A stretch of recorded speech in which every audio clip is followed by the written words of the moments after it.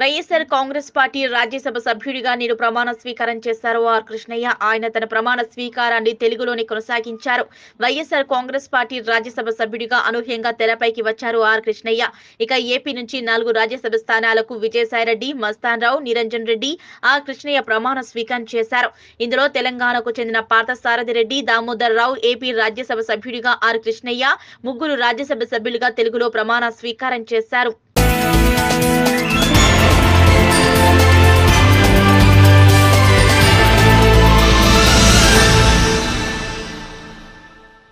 రాష్ట్రపతి అభ్యర్థిగా ఆదివాసీలకు అవకాశం ఇచ్చిన ప్రధాని మోదీ బీజేపీ అధ్యక్షుడు జేపీ నడ్డాలకు ఆ పార్టీ రాష్ట్ర అధ్యక్షుడు బండి సంజయ్ ధన్యవాదాలు తెలిపారు. తల్లిగా దేశానికి ద్రౌపది ముర్ము సేవ చేశారని ఆకాంక్షించారు. ప్రధాని మోదీజీ అంబేద్కర్ వారసుడని బండి సంజయ్ పోల్చడం గమనార్హం. మోదీ నిర్ణయాలతో బాబాసాహెబ్ అంబేద్కర్ తృప్తి చెందుతారని పేర్కొన్నారు. జూలై మూడున సికింద్రాబాద్ ప్రధాని మోదీ సభకు గిరిజన ఆదివాసీలు భారీగా తరలి రావాలని బండి సంజయ్ పిలుపునిచ్చారు. మైనార్టీ వర్గానికి చెందిన కలాంను ఎస్సీ వర్గానికి చెందిన కోవింద్ను రాష్ట్రపతిగా చేసిన ఘనత బీజేపీదేదన్నారు ప్రధాని మోదీ జేపీ నడ్డాల కృషితోని ఆదివాసీ మహిళ రాష్ట్రపతి కాబోతున్నారని బండి సంజయ్ కొనియాడారు. ఇంత గొప్ప ఇంత గొప్ప అవకాశం మనకు మోడీ గారు ఇచ్చారు జేపీ నడ్డా గారు ఇచ్చారు. నిజంగా ఆదివాసీ మా అక్కలు మా చెల్లెలు మా అన్నలు తమ్ముళ్ళు ఏ రోజు ఊహించలే. రే మా ఎస్టీ సామాజిక వర్గానికి సంబంధించిన ఒక చెల్లె ఒక అక్క ఒక తల్లి దేశానికి రాష్ట్రపతి అని చెప్పి నాకు తెలిసి ఈనాడు ఊహించలే. ఎవరు ఊహించుకోలే. నేను చూసినాము చూస్తుంటే రాష్ట్రపతి అభ్యర్థిగా ప్రకటించిన వెంటనే వారు నమ్ముకున్నటి ఆలయానికి పోయి తల్లికి ఆ స్వామివారికి సేవ చేస్తుందంటే ఇవాళ ఆ తల్లి ఈ దేశానికి ఒక కన్న తల్లిగా తప్పకుండా మనందరికీ సేవ చేస్తుందని చెప్పి ఒక నమ్మకం విశ్వాసం ఈ దేశ ప్రజల్లో ఒకటి ఏర్పడ్డాయి. బాబాసాహెబ్ అంబేద్కర్ గారు ఈరోజు కృషి సంతోషపడుతున్నారు. మోడీ గారు ప్రధానమంత్రి అయిన తర్వాత ఇలా బాబాసాహెబ్ అంబేద్కర్ గారు నాకు తెలిసి ఇక్కడ తృప్తి పడతారు సంతపడతారు ఎస్ నాకు ఒక వారసుడు వచ్చాడు. నా వారసుడు మోడీ గారు అని చెప్పి ఇలా బాబాసాహెబ్ అంబేద్కర్ గారు తృప్తి పడతారు. మీరు చూడండి భారతీయ జనతా పార్టీ ఇవాళ బాబాసాహెబ్ అంబేద్కర్ రచించిన రాజ్యాంగాన్ని స్ఫూర్తిగా తీసుకున్న తర్వాతనే దానికి అనుగుణంగా రాష్ట్ర దేశాన్ని భారతీయ జనతా పార్టీ ప్రభుత్వం పాలిస్తుంది కనుకనే ఈరోజు ఈ అవకాశాలు వస్తున్నాయి. ప్రపంచ దేశాలన్నీ కూడా రాజ్యాంగాన్ని మార్చుకున్నాయి. కానీ బాబాసాహెబ్ అందించినటువంటి రాజ్యాంగానికి డెబ్బై ఐదు సంవత్సరాలు పూర్తవుతున్న సందర్భంలో ఇవాళ ఒక ఛాయవాల దేశాన్ని పాలిస్తున్న అనుకోలే కానీ ఛాయ అనుకున్న వ్యక్తి దేశాన్ని పాటిస్తున్నాడు. అంటే ఒక సామాన్యటువంటి సామాన్య వ్యక్తి. ఒక సామాన్య కార్యకర్త కావచ్చు. ఏ అవకాశాలు వస్తాయి ఏ అద్భుత అవకాశాలు వస్తాయి ఎవరు ఏమైనా కావచ్చు అని చెప్పి నిరూపించిన గొప్ప వ్యక్తి నరేంద్ర మోడీ గారు. మన ద్రౌపది ముర్ము గారు ఒక ఆదివాసీ బిడ్డ అని మాత్రమే ఇలా రాష్ట్రపతిగా అభ్యర్థిగా ప్రకటించలే. అన్ని రాష్ట్రాలు అన్ని రాష్ట్రాల్లో ఎస్టీ సామాజిక వర్గానికి సంబంధించినటువంటి ఆ కులానికి సంబంధించినటువంటి ఆ జాతులకు సంబంధించినటువంటి ప్రజలందరూ కూడా ఏమేమి ఇబ్బంది పడుతుందని చెప్పి దేశ వ్యాప్తంగా పర్యటించి పూర్తి అవగాహన కల్పించుకొని వాటిని నివేదిక రూపంలో నరేంద్ర మోడీ గారికి ఇచ్చిన తర్వాత నరేంద్ర మోడీ గారు ఆశ్చర్యపోయారు. ఎస్టీ సామాజిక వర్గ సభ్యులు సభ్యులు ప్రజలు కూడా ఇంత ఇబ్బంది పడుతున్నారు. ఇన్ని సమస్యలతో తల్లడిల్తున్నారు అని చెప్పి భావించిన తర్వాతనే దాంతో పాటు చదువు లేకుండా నిల్వ నీళ్ళు లేకుండా తిండి లేకుండా పేదరికంలో మగ్గుతున్నప్పుడు కూడా వాళ్ళందరినీ మరొక దరి చేసుకోవాలి వాళ్ళందరికీ అవకాశం ఇవ్వాలని చెప్పి ఒక ఆలోచనతోని వాళ్ళ ద్రౌపది ముర్ము గారిని దేశ దేశానికి ఒక రాష్ట్రపతి అభ్యర్థిగా భారతీయ జనతా పార్టీ ప్రకటించింది.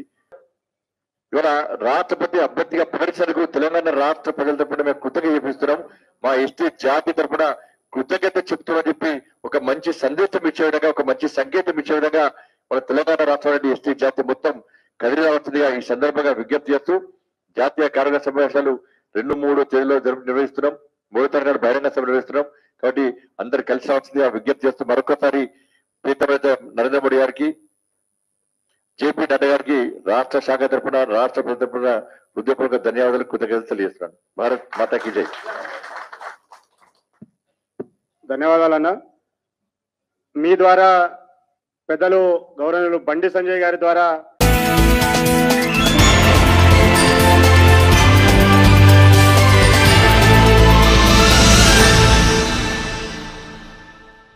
ప్రధానమంత్రి నరేంద్ర మోదీ అనాలోచిత నిర్ణయం వల్ల లక్షలాది మంది యువకులు రోడ్ల మీదకు వచ్చి ఆందోళన చేపట్టారని టీపీసీసీ చీఫ్ రేవంత్ రెడ్డి విమర్శించారు.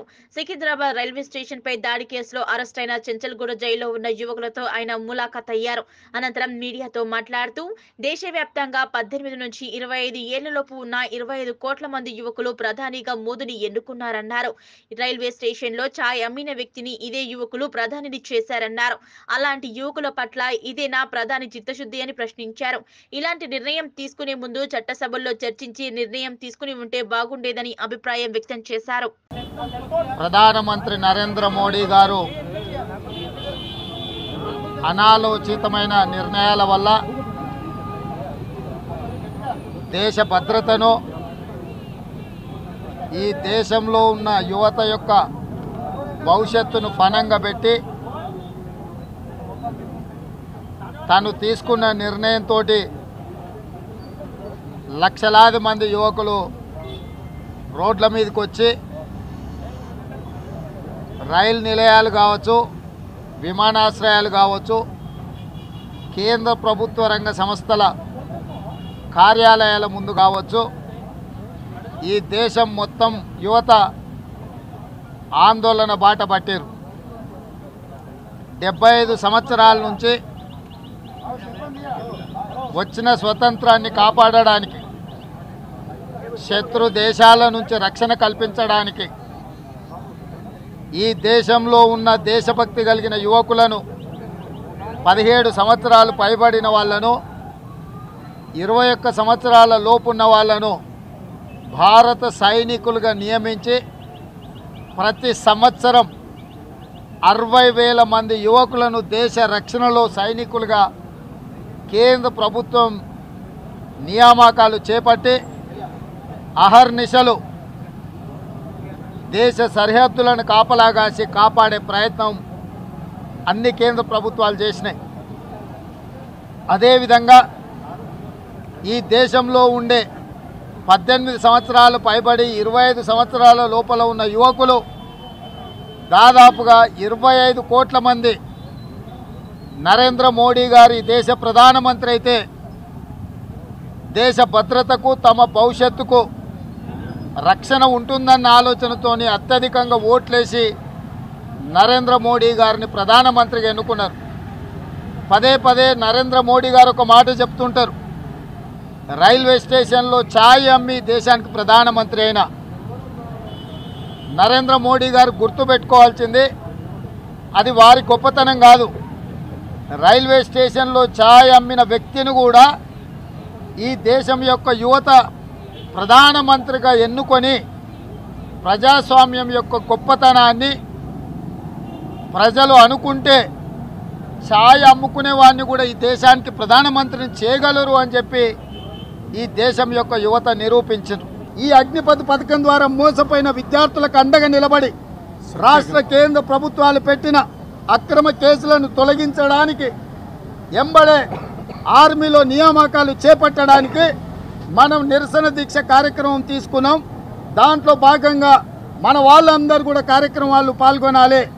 నేను నర్సంపేటలో రాకేష్ అనే యువకుడు చనిపోయిండు. ఆ రోజు వెళ్దామంటే పోలీసులు నిర్బంధించి అడ్డుకున్నారు. ఇరవై ఏడు తారీఖు రోజు ఆ కుటుంబాన్ని పరామర్శించి నర్సంపేట నియోజకవర్గంలో నిరసన కార్యక్రమంలో పాల్గొనాలి అని చెప్పి కాంగ్రెస్ పార్టీ ఆదేశించింది ఈ కార్యక్రమాలను విజయవంతం చేస్తూ ఈ దేశంలో ఉండే యువకులకు అండగా నిలబడి కేంద్ర ప్రభుత్వం తెచ్చిన దిక్కుమాలిన చట్టాన్ని రద్దు చేసే వరకు రాష్ట్ర కేంద్ర ప్రభుత్వాలు పెట్టిన అక్రమ కేసులను న్యాయపరంగా అదేవిధంగా రాజకీయ పరంగా ఎదుర్కోవడానికి పోరాటం చేయడానికి ముందల ఉండాల్సిందిగా శ్రేణులందరికీ విజ్ఞప్తి చేస్తున్నా. రేవంత్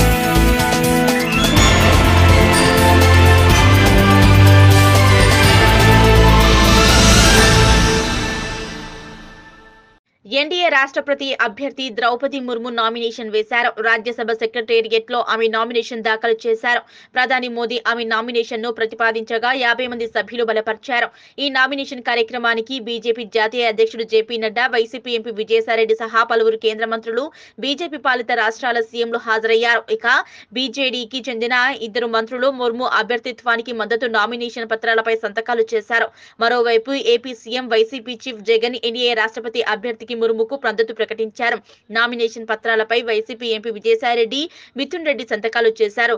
తొలిసారిగా ఓ గిరిజన మహిళకు రాష్ట్రపతి అభ్యర్థిగా అవకాశం రావడం మంచి పరిణామమన్నారు జగన్.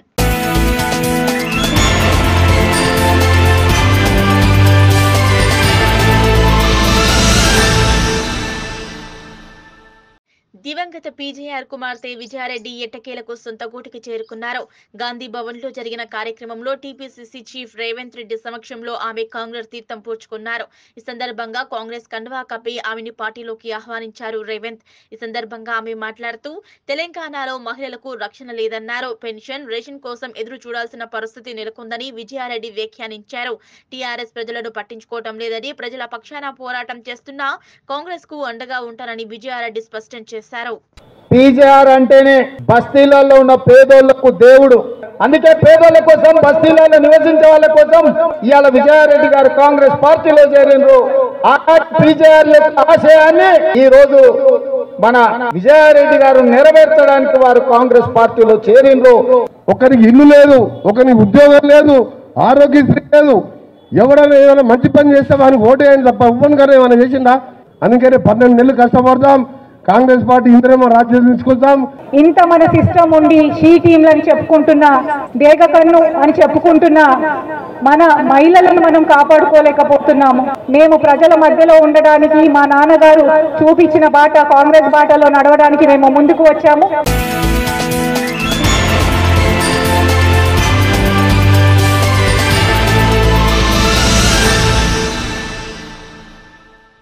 సూర్యాపేట జిల్లా కోదాడ నియోజకవర్గంలో ప్రజా ప్రస్థాన యాత్ర కొనసాగిస్తున్నారు. వైఎస్ఆర్టీపీ అధినేత్రి షర్మిల బారాకాత్ గూడెం నుంచి నూట నాలుగవ రోజు పాదయాత్ర ప్రారంభించారు. చిల్కూరు మండలం పోలేనిగూడెం బోతవోలు చెన్నారిగూడెం గ్రామాల మీదుగా ప్రజా సమస్యలు తెలుసుకుంటూ యాత్ర కొనసాగిస్తున్నారు షర్మిల.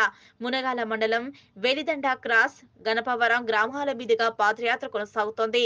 సాయంత్రం గణపవరం గ్రామస్తులతో మాటా ముచ్చట నిర్వహించారు షర్మిల. భూమి ఎంతమందికి వచ్చింది మరి మీరు చెప్పాలి కదా? మీరు మాట్లాడకపోతే ఇట్లే ఉంటది. మాట్లాడాలి మీరు కాలర్ పట్టుకొని నిలదీయాలి. టిఆర్ఎస్ పార్టీ వాళ్ళు మళ్ళీ మీ ఓట్లు అడగడానికి వచ్చినప్పుడు మీ కాలర్ పట్టుకొని నిలదీయకపోతే మీకు న్యాయం ఎలా జరుగుతుంది? ఆలోచన చేయండి. ఎవరైనా పాలకులైనా ప్రతిపక్షాలైనా మీ పక్షాన ఉన్నారా? ఎవరైనా మీ పక్షాన పోరాటం చేస్తున్నారా? మీకు మీ సమస్యలు ఉన్నాయి అని చెప్పినా కూడా ఎవడైనా పట్టించుకునే నాదుడున్నాడా ఖర్చులన్నీ పెరిగిపోయినాయి. ఎలా బతుకుతున్నారు అని అడిగేవాడున్నాడా? ఏదైనా కష్టం వస్తే లీడర్ దగ్గరికి పోతే తిప్పుతూనే ఉంటారు కానీ ఒకడైనా పరిష్కారం చూపుతున్నాడా? కమిషన్లు లంచాలు తీసుకుంటున్నారు తప్ప మీ గురించి మీ మేలు గురించి సహాయం చేయాలని ఒక్కడికైనా ఉందా? ఈరోజు పెన్షన్లు కూడా ఇవ్వలేని దిక్కుమాలిన స్థితిలో ఉంది కేసీఆర్ గారి పాలన. పెన్షన్లు కూడా ఒకటో తేదీకి వస్తున్నాయా? కనీసం గ్రామాలలో పనులు జరగడం లేదు అంటే పైసలు లేక జరగడం లేదు. ఈరోజు గ్రామ పంచాయతీలు పాపం వాళ్ళు అప్పులు చేసి మరి డబ్బులు పెట్టినా కూడా వాళ్ళకు బిల్లులు తీర్చే పరిస్థితి కూడా లేదు.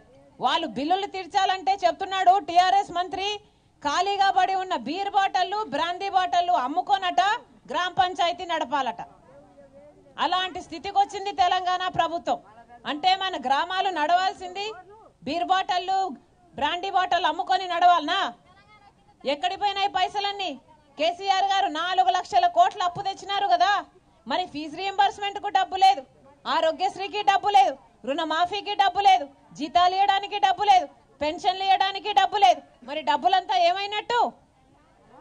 పెద్ద పెద్ద ప్రాజెక్టులు చేపి కమిషన్ల రూపంలో కేసీఆర్ గారు తింటున్నట్టు. టిఆర్ఎస్ పార్టీ వాళ్ళు బాగుపడుతున్నట్టు. ఎవరికైంది బంగారు తెలంగాణ? మీకైందా బంగారు తెలంగాణ? రాజశేఖర రెడ్డి గారు ఉన్నప్పుడు ఎట్లుండే? వ్యవసాయం పండగ అవుతుండే రాజశేఖర రెడ్డి గారు ఉండగా మహిళలకు లోన్లు ఇస్తే పావుల వడ్డీకి ఇచ్చినా కూడా వాళ్ళ కాళ్ళ మీద వాళ్ళు నిలబడగాలి నిలబడడానికి ఇచ్చారు ఫీజు రీఎంబర్స్మెంట్ ఉండే ఆరోగ్యశ్రీ ఉండే వన్ నాట్ ఎయిట్ ఉండే. నలభై ఆరు లక్షల మందికి పక్కా ఇల్లు కట్టాడు రాజశేఖర రెడ్డి గారు. మరి దిక్కుమాలిన కేసీఆర్ గారి పాలనలో ఎవరికి మేలు జరిగింది? మీరు ఆశీర్వదించండి. కులాలకు మతాలకు ప్రాంతాలకు పార్టీలకు అతీతంగా ప్రతి పేదవాడి పక్షాన రాజశేఖర్ రెడ్డి బిడ్డ నిలబడుతుంది. తెలంగాణ గడ్డ అభివృద్ధి కోసం నిలబడుతుంది. మీరు ఆశీర్వదించండి. మళ్ళీ రాజశేఖర్ రెడ్డి గారి పాలన ఆఖరి నిమిషం వరకు మీకు సేవ చేస్తూనే రా- ఉన్న రాజశేఖర్ రెడ్డి గారి బిడ్డ మీ చేతుల్లో పెడుతుందని మీకు మాటిస్తున్నాం. మరొకసారి మరొకసారమ్మా ఈ ఉదయం మీ పనులు మానుకొని మీ పనులు మానుకొని నా కోసం మీరు సమయం చేసుకొని వచ్చారు. రాజశేఖర్ రెడ్డి బిడ్డ వస్తుందని గుండె నిండా అభిమానంతో రాజశేఖర్ రెడ్డి గారి బిడ్డను చూడాలని వినాలని ఆశీర్వదించాలని ఇంత దూరం వచ్చారు. ప్రతి అక్కకు ప్రతి చెల్లికి ప్రతి అన్నకు ప్రతి తమ్ముడికి మరొకసారి మీ రాజశేఖర్ రెడ్డి బిడ్డ శిరస్సు వంచి చేతులు జోడించి మనస్ఫూర్తిగా కృతజ్ఞతలు చెప్పుకుంటుంది జోహార్ వైఎస్ఆర్! జోహార్ వైఎస్ఆర్!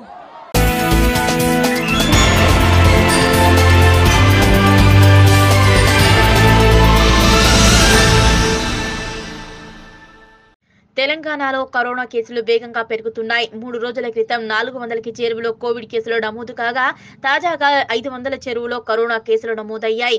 గురువారం రాష్ట్రంలో ఇరవై ఎనిమిది వేల ఎనిమిది వందల అరవై ఐదు కరోనా పరీక్షలు నిర్వహించగా నాలుగు వందల తొంభై నాలుగు మందికి పాజిటివ్ సోకినట్టు తేలింది. దీంతో రాష్ట్రంలో యాక్టివ్ కేసుల సంఖ్య మూడు వేలు దాటింది.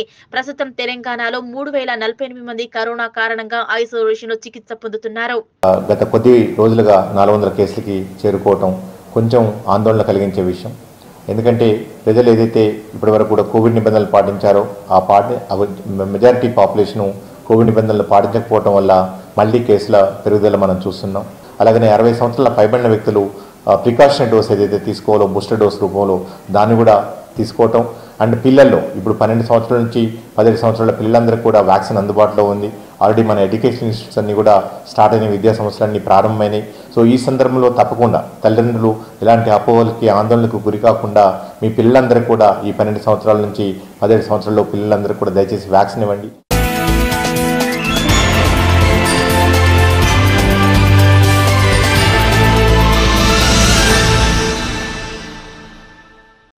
మహారాష్ట్రలో ఉద్ధవ్ థాక్రే నేతృత్వంలోని ప్రభుత్వం భారీ రాజకీయ సంక్షోభంలో ముఖ్యమంత్రి అధికారిక నివాసం నుంచే థాక్రా బయటకు వెళ్ళాల్సిన వచ్చిన సమయంలో బాలీవుడ్ నటి కంగనా రనౌత్ వ్యాఖ్యలకు సంబంధించిన పాత వీడియో ఒకటి వైరల్ అవుతోంది.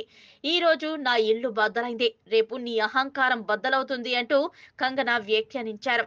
రెండు వేల ఇరవై సెప్టెంబర్ తొమ్మిదిన ముంబైలో కంగనా రనౌత్ నివాసం ముందు అలజడి మొదలైంది.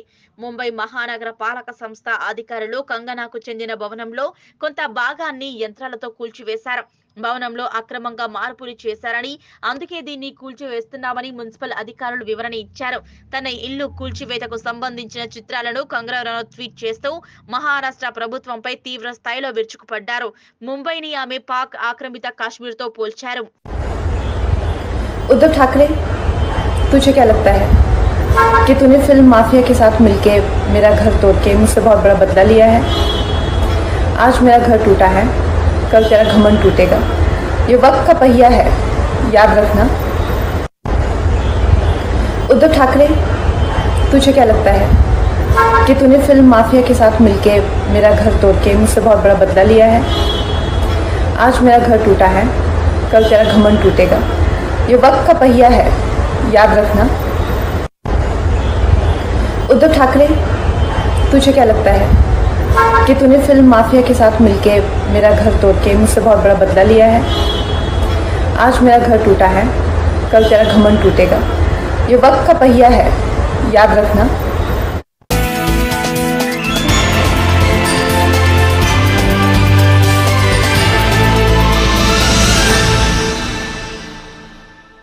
దేశంలో కరోనా కేసులు భారీగా పెరుగుతున్నాయి. వైరస్ మరోసారి విజృంభిస్తుండటంతో పెద్ద సంఖ్యలో కేసులు నమోదవుతున్నాయి.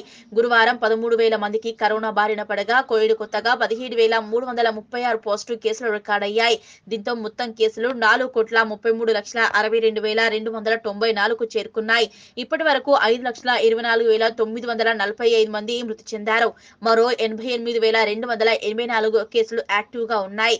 గత ఇరవై నాలుగు గంటల్లో పదమూడు మంది మరణించగా పదమూడు వేల ఇరవై తొమ్మిది మంది వైరస్ నుంచి కోలుకున్నారు. కొత్తగా నమోదైన కేసుల్లో అత్యధికంగా మహారాష్ట్రలో ఐదు వేల రెండు రెండు వందల పద్దెనిమిది కేసులు నమోదయ్యాయి. కేరళలో మూడు వేల ఎనిమిది వందల తొంభై కేసులు ఢిల్లీలో ఒక వెయ్యి తొమ్మిది వందల ముప్పై నాలుగు తమిళనాడులో ఒక వెయ్యి అరవై మూడు హర్యానాలో ఎనిమిది వందల డెబ్బై రెండు కర్ణాటకలో ఎనిమిది వందల యాభై ఎనిమిది కేసుల చొప్పున నమోదయ్యాయి.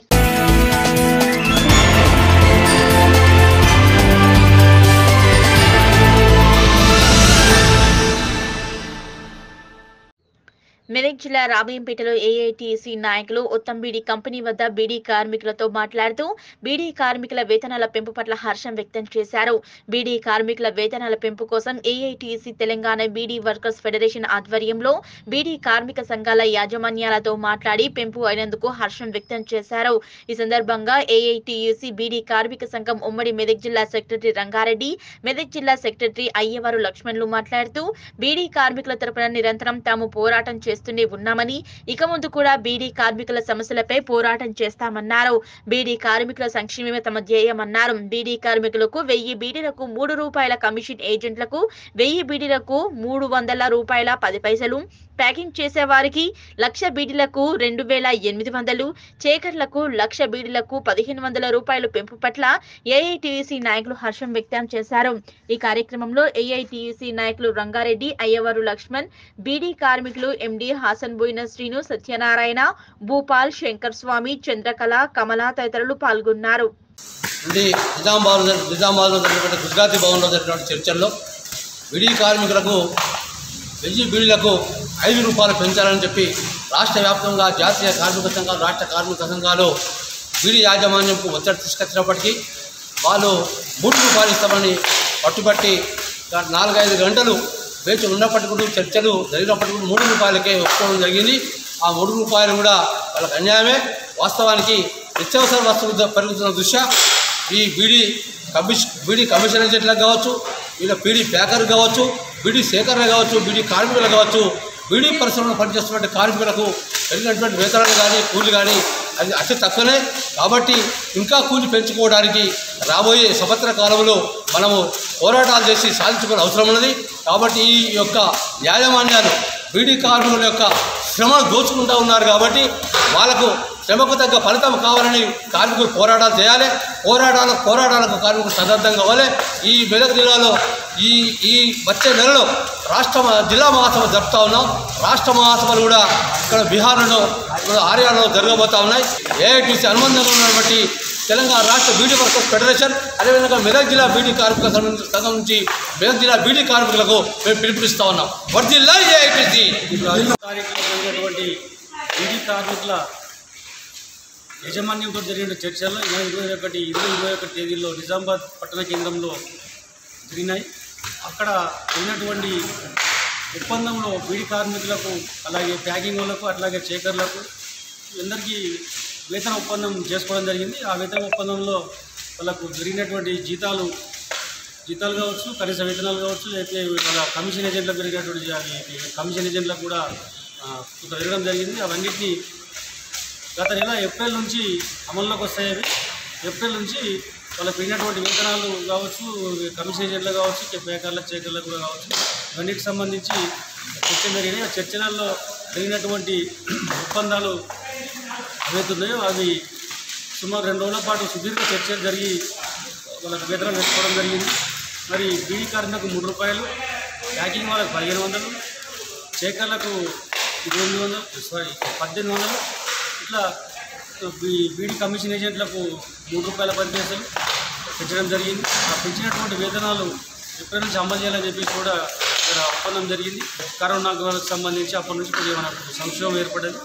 దానివల్ల కొద్దిగా రేట్లలో కొద్దిగా తక్కువైనట్టు అనిపించింది. అయినా కానీ మళ్ళొచ్చే ఒప్పందం ఒప్పంద వేతన ఒప్పందంలో మంచి వే- ఒక వేతనం యాజమాన్యం చేస్తామని చెప్పింది.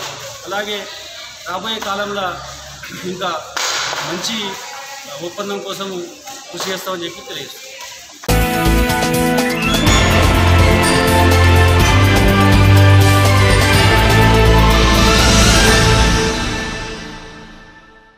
టాలీవుడ్ సినీ కార్మికుల డిమాండ్ల అంశంపై చర్చలు కొనసాగుతున్నాయని ప్రముఖ నిర్మాత దిల్ రాజ్ తెలిపారు. సినీ కార్మికుల అటు నిర్మాతలతో చర్చలు జరిపేందుకు తెలంగాణ సినిమాటోగ్రఫీ శాఖ మంత్రి తలసాని శ్రీనివాస్ యాదవ్ చొరవతో సమన్వయ కమిటీ ఏర్పాటైన సంగతి తెలిసిందే. ఈ సమన్వయ కమిటీకి నిర్మాత దిల్ రాజు అధ్యక్షత వహించారు. ఇవాళ ఆయన మీడియా ముందుకు వచ్చారు. ఇరు వర్గాలతో చర్చలు మొదలయ్యాయని ఆరోగ్యకర వాతావరణంలో సమస్యలపై చర్చిస్తున్నామని వెల్లడించారు. అన్ని అంశాలు ఒక్కొలికి వచ్చాక తాము ఏ నిర్ణయానికి వచ్చామనేది మీడియాకు ప్రకటిస్తామని దిల్ రాజు పేర్కొన్నారు. ఇవన్నీ కూడా తేలిపోయే మేఘాలు లాంటివని కార్మికుల సమస్యలు కూడా పరిష్కారం అవుతాయని అభిప్రాయపడ్డారు. ఏం లేదు. అందరం కలిసి ఇరవై మంది ప్రొడ్యూసర్లు ఉన్నారు. అందులో పన్నెండు మంది చిన్న సినిమాలు తీస్తున్న ప్రొడ్యూసర్లే. ఏది కరెక్ట్ అనేది నిర్మాతల తరఫున వాళ్ళ ప్రాబ్లమ్స్ వాళ్ళకు ఉన్నాయి. వాళ్ళే కూడా ఏది కరెక్ట్ అనేది వాళ్ళవి తీసుకొని డే టు డే మాట్లాడుకుంటూ ఒక ఫైనల్ డే ఏమేమి ఫైనల్ చేశామనేది మీ ద్వారా అందరికీ తెలియజేస్తాం.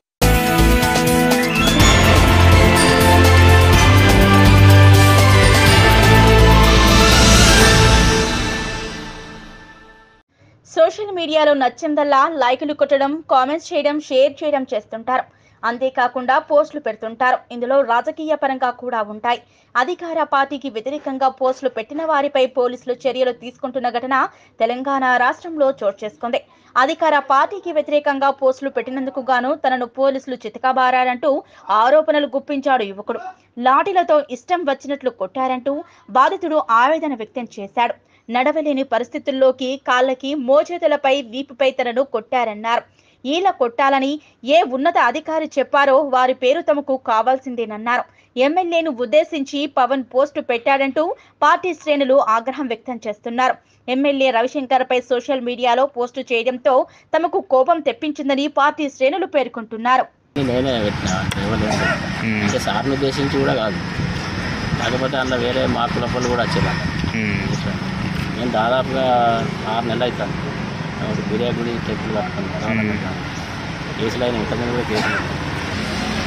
సార్ వచ్చింది కాబట్టి ఇంకా ఆయనతో ఇంకా వేరే మార్కులు వస్తులు ఇద్దరు కూడా మేము. ఒక నాలుగు నెలల బట్టి తిరుగుతాను తిరిగిన దాంట్లో మాకు కొద్దిగా వాళ్ళు అగెన్స్ట్ కొద్దిగా చేసినవి అవి ఉన్నాయి కాబట్టి అక్కడ కనబడ్డ వల్ల పోస్ట్ ఉద్దేశించి ఏం కాదు. దానికి మందలిస్తారా లేకపోతే ఏమైనా చెప్తారా అనుకున్నా కానీ ఇట్లా చేస్తారు అనుకోలేదు నిన్న పొద్దున కానిస్టేబుల్ వచ్చి సార్ నచ్చి కలిసిదని చెప్పి తీసుకపోయి నా స్టాఫ్ ఒక ఇరవై నిమిషాలు మొత్తం కొడతానే రుక్మాపూర్ గ్రామం గ్రామంలో కుర్మ కులస్తులు బీరాయపట్నాలు జరుపుకొనగా దానికి టీఆర్ఎస్ మండల ప్రజాప్రతినిధులు అందరూ హాజరు కావడం జరిగింది. సో వారందరూ కలిసి భోజనం చేస్తుండగా తీసిన ఫోటో. తొంటి పవన్ కుమార్ అనే వ్యక్తి వాట్సాప్ గ్రూపులో అనుచిత వ్యాఖ్యలు జోడించి ప్రచారం చేయడం జరిగింది. దానికి వెల్మా శ్రీనివాసరెడ్డి రెసిడెంట్ ఆఫ్ మంగళపల్లి ఇచ్చిన ఫిర్యాదు మేరకు అతని మీద ఐపీసీ మరియు ఐటీ సెక్షన్ల కింద కేసు నమోదు చేయడం జరిగింది. నేరస్తుడు తన నేరాన్ని ఒప్పుకోవడం జరిగింది. తదుపరి వివరాలను తర్వాతి విచారణలో తెలుస్తుంది